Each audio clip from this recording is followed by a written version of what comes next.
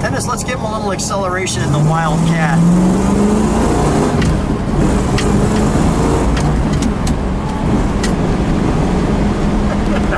Not too bad. Not too bad. Hi, I'm Lou with another episode of My Car Story. And today we've got an amazing car for you. I'm with Dennis. Dennis, your last name? Uh, Dennis Doerge. And Dennis had a car dealership, a Buick dealership, for how many years? Uh, been a Buick dealer for almost 40 years. and you're seeing some of his personal cars. Now, before we get to this car, I want to give a little shout out to some of our friends, although it's in Chillinois, as I like to call it, Illinois. Uh, right now, it's a perfect day. But very soon it's going to be cold, and even on the days that aren't cold, we both use California car covers to cover our cars and keep them clean. So I wanted to give a little shout out to our friends at California Car Cover and let you know that we'll put the description of California Car Covers website in our description of this video if you want to check it out. But they've got not only car covers, which if you have a, haven't got a car cover, you want to check them out, call them up. But you also want to check out some of their other stuff. Pretty cool place. So Dennis, what year, make, and model car do we have here? This is a 1963 Buick Wildcat. Uh, Four-speed, dual quad 401 nailhead. Recently, nut and bolt restoration, frame off restoration. uh, this one, well, I'll let it speak for itself. Yeah, this little Wildcat is just what it says. Well, Dennis, this is one Wildcat. nice. Right off the bat. And a, and a one-year body style only. And some interesting pieces. Right off the bat, the thing that caught my attention was that gap in there. So I'll let you take that in again. And then you have this floating Buick logo, which I thought was super cool.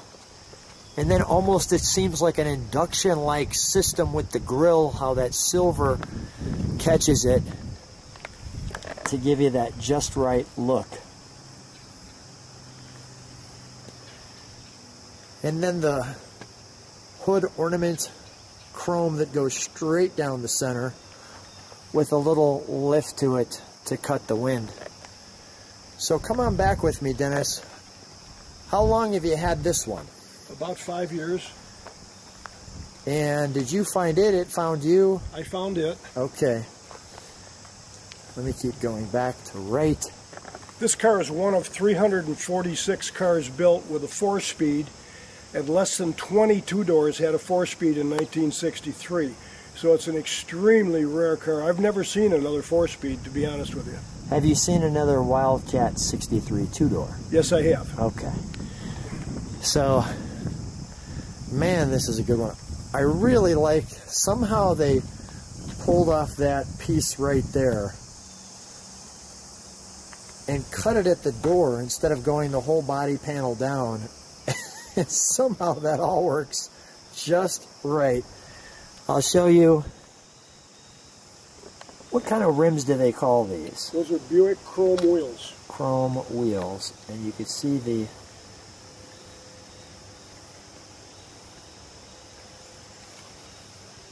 It has 12 inch aluminum brake drums, finned. Behind it.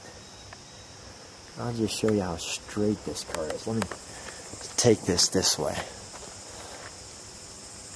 I'll give you that view. That's straight. Has a nice curvature to the windshield. I think just the right mirror for it too. Somehow it really, you know, it just has the right shaping and structure to it. We'll come to that interior in a second. Obviously it has the vinyl top.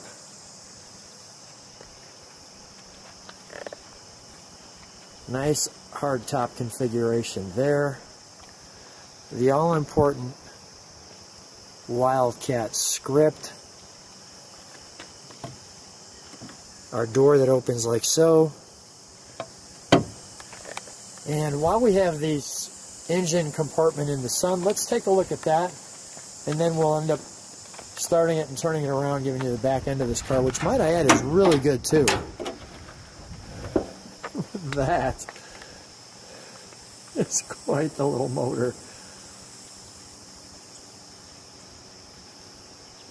Wow. Now what do we have here? Is this a uh, That's a vacuum tank for the power brakes. for the power brakes? Got it.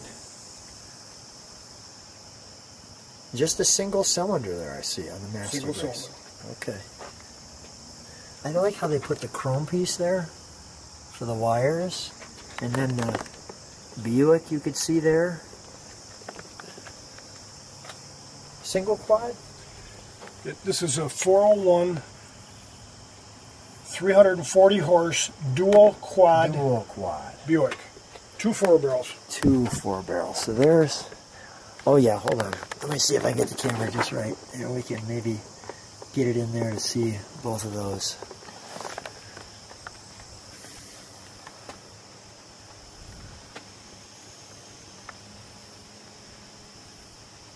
This has got quite the setup. Got the horns. All right, well let's uh, let's fire it up, shall we? I just want to show you that head too with the pieces there.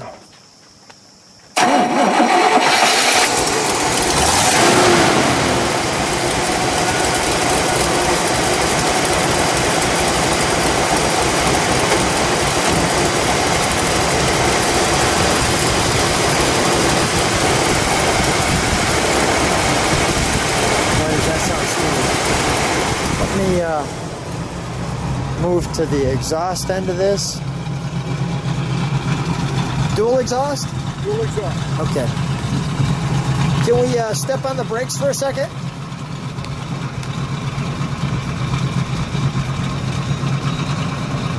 There we go.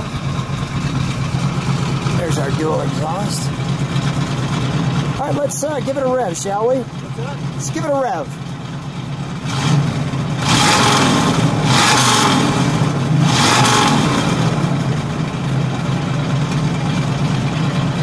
Some of the moisture out of that one. One more time, Dennis. so while we're here at the engine, we're going to show you that two four barrels. I also wanted to show you that tag right there that I like to feature. So that one was there. There's your dual four barrels. All right, that's magnificent. While you're putting that back on, I'm going to feature our interior. So let me come on over here. Let me just show you that from that angle. And now we'll move a little closer. So we have the Wildcat emblem there. I really thought that was a good move. We have our Buick piece there. Clearly this is for the mirror. This is for the side window here. For our main window. Don't forget the four speed. Oh, I won't forget the four speed. Our buckets. You can hear that wonderfully there. And the nice ribbing, as you can see across the top.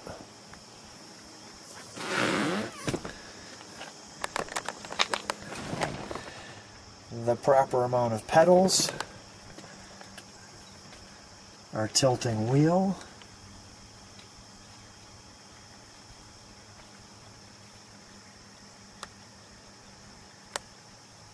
Working clock. You know, there's no missing the word wildcat on this one. No, it's everywhere. You have it also over there. Now, the one thing that Buick didn't do too well was put the tach down by your knees. Very hard to see. Yeah, that wasn't the best idea. But we'll show that. And then we got the lighter ashtray here. We'll show you how that feature comes down like that. I thought this was nicely done here. With the aircraft-like pieces. And notice that flips over. It goes to FM like so, or AM. Your rear vent. Your left vent, your wipers, your lights, and back to the four speed here. And that is really a nice console. I mean, they really did that well. I'm just going to take it all the way from the back.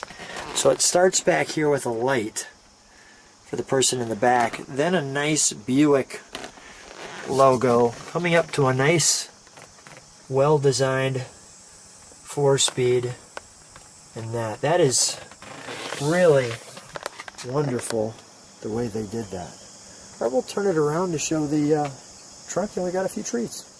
So here's the back of this car and I want to share with you the beauty of this car as well.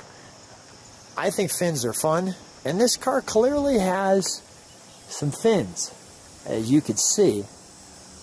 So the Wildcat has that. Now I thought there was some really cool pieces. I think they really did a nice job. I'm actually get out of the way of the light of that. I think that was a really good Buick logo that they made stick out.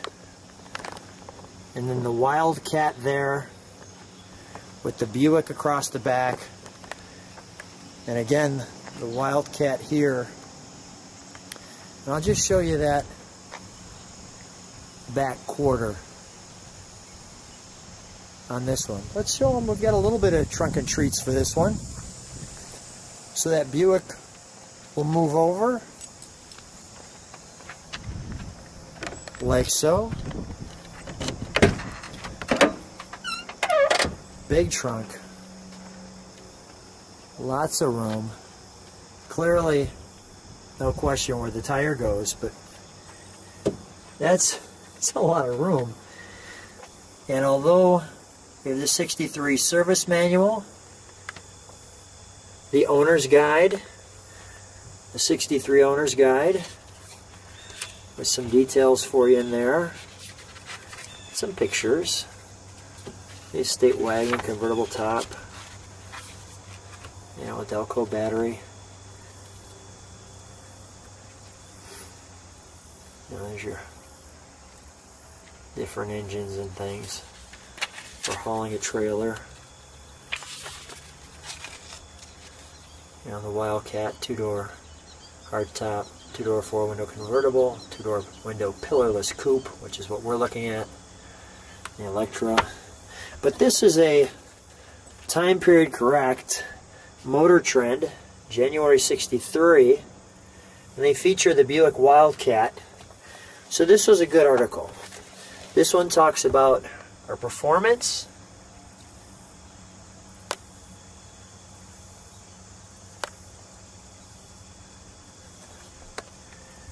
It talks about, we've highlighted there, this big one from Buick will satisfy a lot of people hidden behind the cloak of four-door respectability. Pausing it enough, so hopefully you can just read that whole article if I give it to you that way.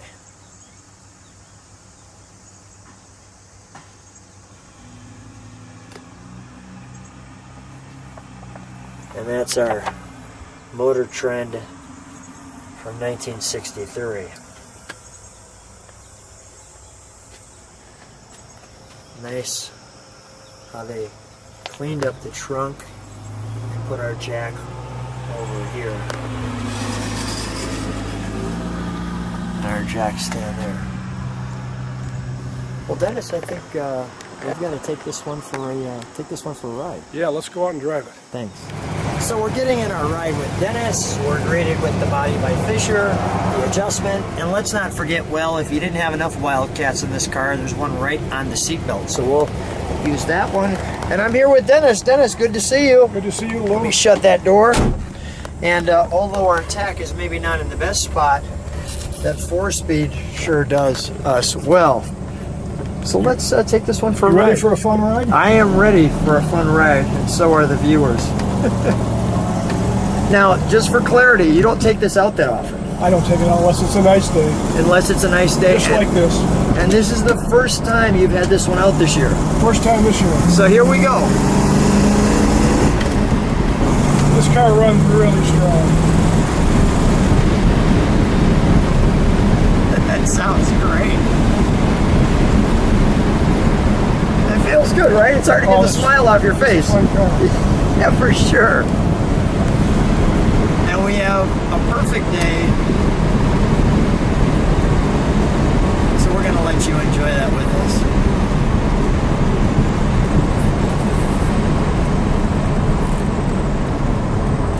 us. So I know you've had the dealership for 40 years, the Buick dealership. And how much of it is a treat to to make it a car of your own, so to speak? It's just just a lot of fun. I mean, I, I, I enjoy it now more than I ever have. When did you first become a car guy? As a kid? When I was when I was 14, 14? yeah. How did you decide you wanted to own a Buick dealership? Well, my dad was a used car manager for a Buick dealership in Elgin, where I, where I lived, Yeah.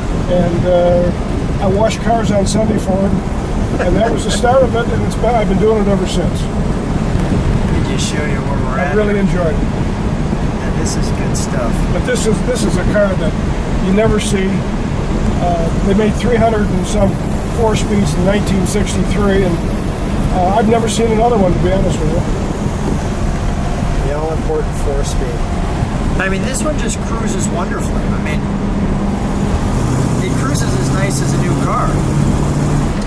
For a big car, this car cruises good. Yeah.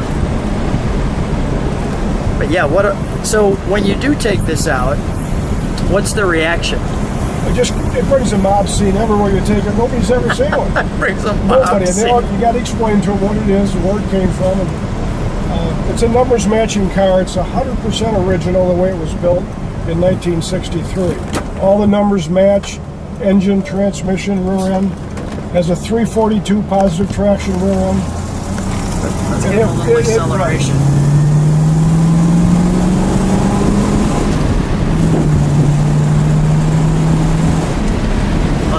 Stuff right there. Gets up and goes. Gets up and